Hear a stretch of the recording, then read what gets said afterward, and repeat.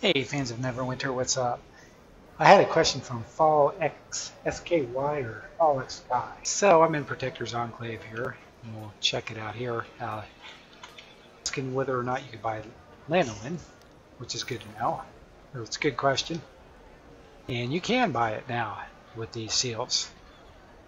Now you need seals of the Protector.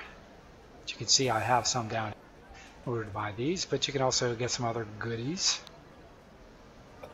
that you could not buy here previously.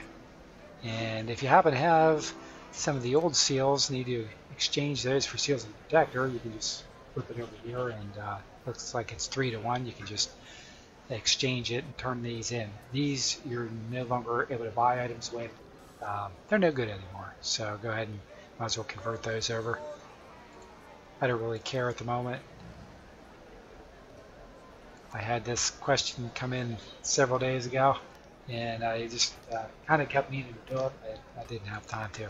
But uh, besides that, go back in here and get some other new goodies. If you missed this or haven't seen it, uh, you can buy these guys. Give you different benefits, different rings. Soaring ring, uh, get a little bit of the Everfrost damage resistance, which is pretty good. These are nice and useful to help you through Storm King's Thunder campaign. Nice extra way to boost up that Everfrost damage resistance. And of course you have some new equipment you can buy. They removed the old Alliance assault stuff.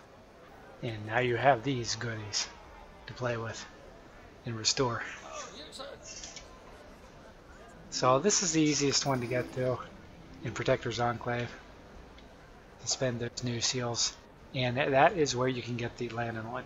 You no longer just have to go to the auction house and get charged nominal leg for it or farm it over in Storm King's Thunder.